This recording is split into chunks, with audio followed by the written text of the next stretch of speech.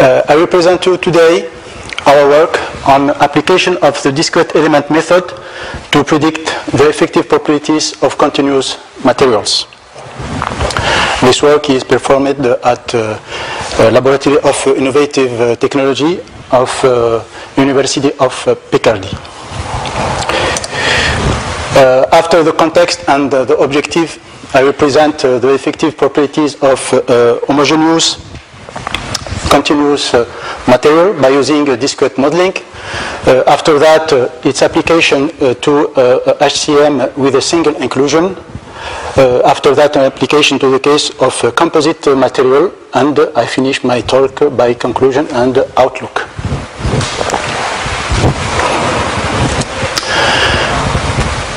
Uh, this work uh, is based in the context of uh, Pristiflex project supported by the European Union uh,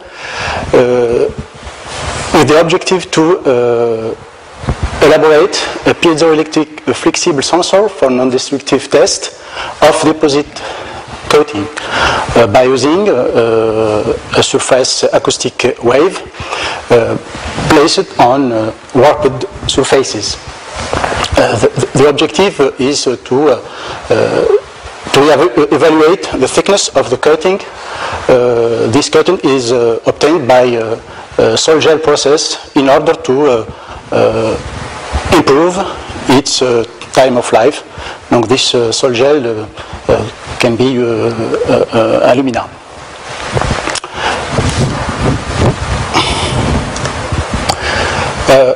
due to its good piezoelectricity, piezoelectricity, uh, the, the material uh, chosen is a ceramic foam uh, based on barium titanate. but due to its very low elastic um, flexibility, we infiltrated the preform, the macroscopic uh, preform, the macroporous preform by uh, an epofix uh, resin to increase is, uh, its uh, uh, flexibility. And the objective is to model this material by a discrete element, the matrix phase, and the, the epofix phase, resin phase. The flow chart of the main steps for the discrete element uh, modeling is uh, the following. The first step consists uh, to adjusting microscopic properties to macroscopic behavior uh, by considering uh, the discrete element as a cohesive domain uh, for the uh, ceramic phase and the resin phase. At the second step, uh, we consider the, the example of a single inclusion for mass, mass conservation purpose. the third step consists to, to uh, perform this uh, uh, method to the composite material and uh, at the, the, the last uh, step uh, to study the distribution of, of stress field and the localization effects.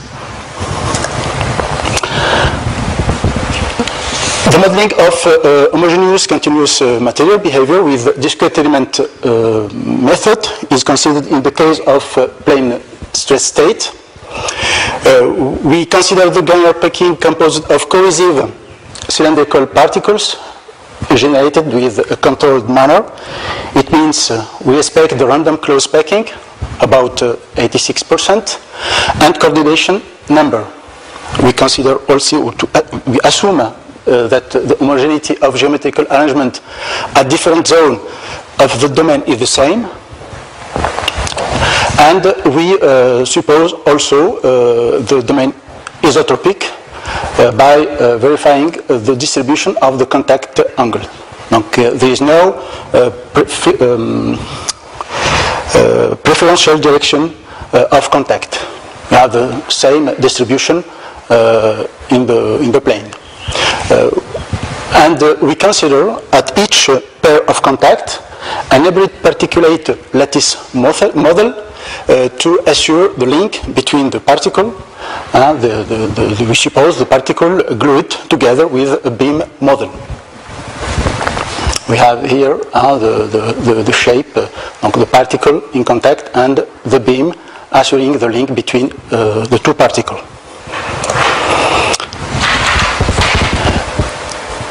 So the interaction at the contact model uh, Uh, modeled by beam, uh, we consider the uh, fourth uh, parameter, the length of the beam, its uh, Young's modulus, its cross section, and its inertial momentum. the cross section is related to the radius of particles and to the uh, adimensional uh, coefficient R mu uh, ranging from 0.01, for example, and to 1. Uh, we accept the, the, the, zero value. Uh, the internal cohesive forces between particles uh, is obtained by the classical uh, stiffness matrix uh, of, uh, of, of, a beam. The, the, the, internal forces is related to the relative displacement, normal, tangential, and rotation. Uh, in order to uh, counteract the normal displacement, impression or interaction, uh, tangential and rotation. The equation of motion for a given particle E is given by this system, the classical system of uh, dynamical uh, equation in translation, in translation and in rotation. Now, here we have the external force and here we have the internal force, essentially uh, the uh, cohesion forces. The same for the rotation uh, motion. Uh, this equation are uh, solved by an, explic an, explicit time integration based on uh, scheme.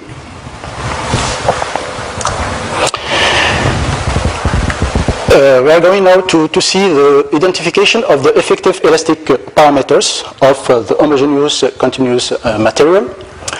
Uh, we consider a quasi-static quasi tensile test to identify the effective elastic, elastic, effective elastic parameters, Young's modulus and uh, Poisson's ratio by considering the classical uh, equation of elasticity. We assume that the material is the uh, titanate, uh, the barium titanate, and its uh, properties uh, are the following.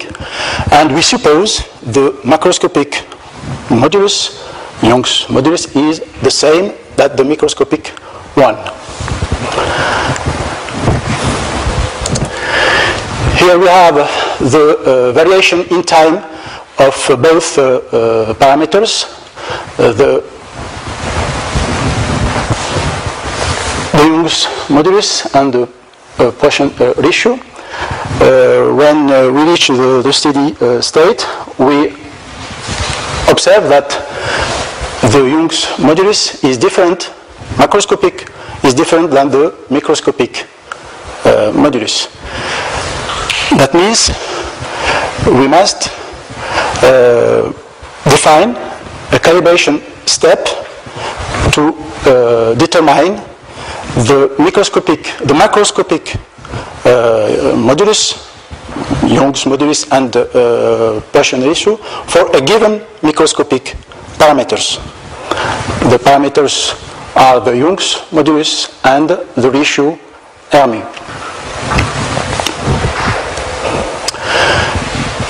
we have plotted different uh, value uh, of uh, uh, different curves corresponding to different value of microscopic Young's modulus and its variation with respect to the, the ratio R mu. as we can see, we have a dependence on the, the, microscopic Young's modulus. however, in the case of uh, Poisson ratio, whatever the value of uh, Young's modulus, we have uh, the same Poisson issue. We have a dependence of a Young modulus only.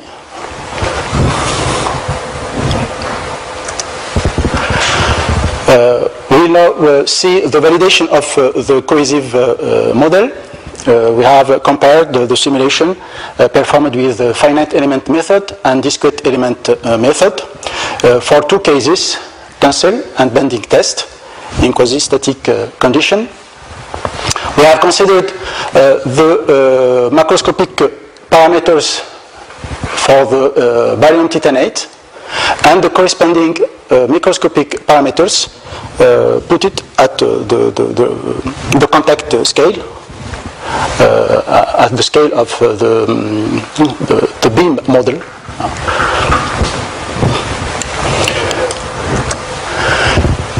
Here we have the, uh, the, um, the, variation of the reaction at the clumped edge with respect to time.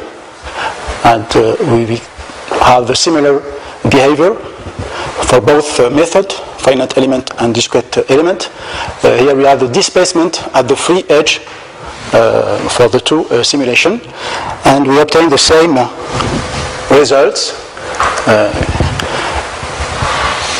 in the in the bending test uh, for the clumped edge and the free free edge.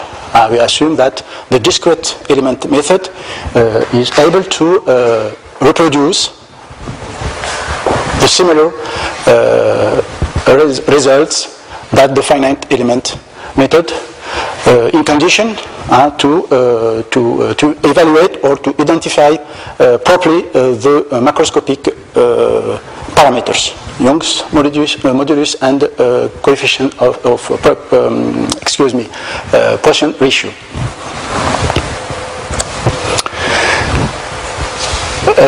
now, I represent uh, uh, the case of uh, uh homogeneous uh, uh, material with a single inclusion. We consider the, the again the barium titanate with, with an epofix resin. The part colored in blue is the resin. And we are plotted, we have plotted here the um, variation of the the mass fraction and the volume fraction with respect to the number of particles uh, to determine the minimum of particle uh, to ensure mass uh, conservation.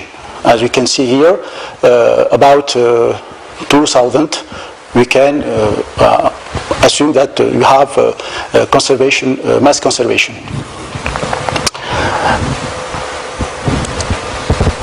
Concerning uh, the behavior, the elastic uh, behavior, we have considered at the interface between the matrix and the inclusion that the uh, microscopic Young's modulus obtained by geometric average of matrix Young's modulus and Young's modulus of the inclusion.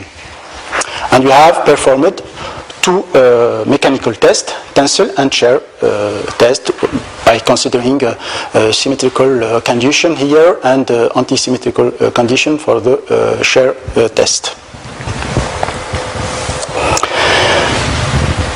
We observe here in this, on this figure the, the distribution of the equivalent von Mises stress for the discrete approach and the finite element uh, approach.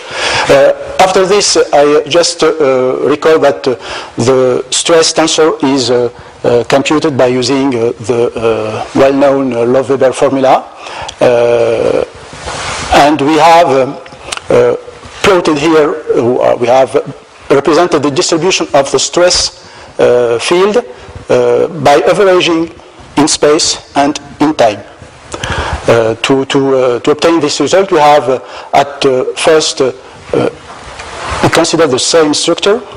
We, we build the, the mesh by finite element software, and we determine for each triangle of this mesh, mesh the particle containing into the, uh, the, the, triangle uh, to, uh, to have more uh, accurately uh, representation of the stress field.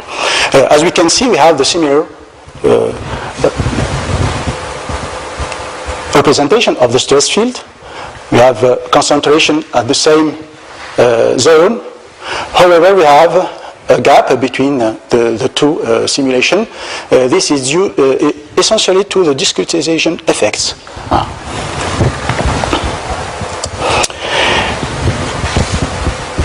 Uh, we have also uh, studied the, the, effect of the contrast between the inclusion and the matrix. Uh, for the case of uh, the constant of, uh, excuse me, the contrast here uh, lower than 1, and in the case where the CR is upper than 1, uh, it means in the first case the, the inclusion is stiff uh, with respect uh, in comparison to the matrix and uh, in the second case the inclusion is, is less stiff excuse me in the first case and the inclusion is stiffer with respect um, in comparison to the, the matrix in the second case.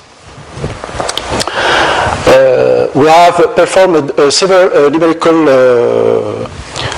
calculation with different approaches to compare the DEM simulation to the fast Fourier transform, uh, finite element uh, simulation, and the double scale finite uh, double scale homogenization finite element method and analytical model. For the case of CR lower than one, and in the case when, CR is upper than one. And we can uh, observe that uh, if we consider uh, the finite element as a reference, we have a value very close to the discrete element simulation. Uh, whatever uh, the uh, value of, of CR. And is bounded by the analytical model. We have performed the same calculation uh, for the shear modulus for CR uh, greater than 1 and uh, lower than 1 and we have the same the same value uh, in comparison to the uh, numerical, uh, the other numerical approach, and also is bounded by the analytical model given by Mori-Tanaka model. Now I will present you the, uh, the application of, or the, the, performing this, of this modeling in the case of uh, a composite uh, material. Uh, the matrix is uh, considered as a, a barium titanate with uh, these properties, elastic properties. the, and the, the part colored here in blue correspond to the uh, inclusion uh, part. Uh, for example, an epofix resin. we have consider a number of 40, 40 inclusion and we discretize, we the, uh, the model, the, the domain uh, by uh, 65,000 particles.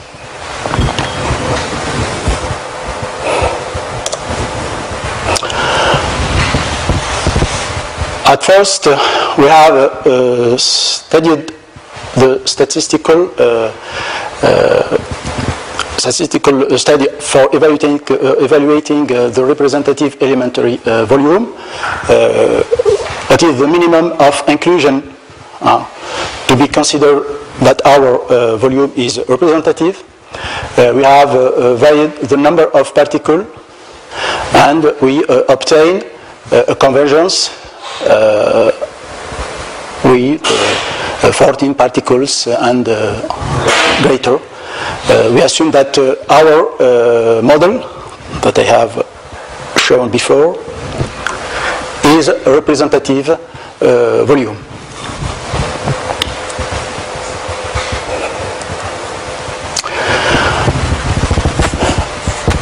For the case of uh, single inclusion, we have uh, studied the, the, influence of the contrast of the effective uh, properties, and we have compared the results obtained with the discrete element method with the fin uh, finite element method, uh, fast Fourier transform, and homogenization, and Mori-Tanaka, and uh, one minute, I, I have finished. donc, we, we obtain um, result very close uh, with discrete element method to the other uh, numerical method in the case of uh, Young's modulus, modulus with the CR uh, greater to 1 and uh, lower than 1 and greater to 1. the, the same results in the case of uh, shear uh, modulus. Uh, the description by discrete element method leads to results very close to the other numerical method. And we have uh, compare the uh, discrete element, uh, the, um, the, results obtained with uh, the discrete element method in the case of uh, uh, barium titanate uh, epofix uh, composite. The experimental uh, results have obtained by our colleague from University of Mons at Belgium in the case of bending test. And the, the Young's modulus is very close to the Young modulus obtained with discrete element method, but we uh, must to compare this, uh, this result because uh, in our simulation we don't uh, take into account the bending effects.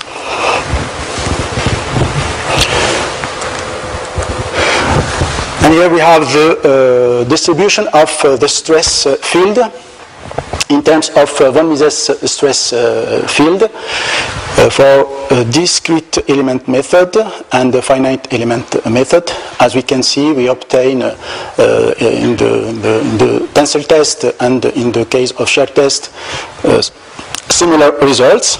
And we can see here the uh, concentration effect uh, at the same zone for the uh, two approaches. To conclude, uh, we have uh, performed the novel uh, discrete element uh, method based approach for evaluating the elastic behavior. Uh, we must uh, to perform calibration process to correlate the microscopic properties by using a beam model to the macroscopic properties. the validity of the discrete element based approach with the case in with a single inclusion. And in the case of, random heterogeneous material with uh, 40 inclusion, and uh, a good comparison uh, with experimental uh, measure uh, obtained for the composite uh, materials constituted by titanate, barium titanate epofix and uh, some uh, prospects. First of all, uh, the effort must be done on the discretization of the composite, which improve the, the prediction of the stress field within the composite in terms of localization effects and crack initiation. And uh, we uh, are currently uh, performing the same method by using discrete element method to simulating thermal phenomena uh, in order to uh, determine the effective thermal conductivities and the detection of the hot spot within the composite. Thank you uh, for your, for your attention.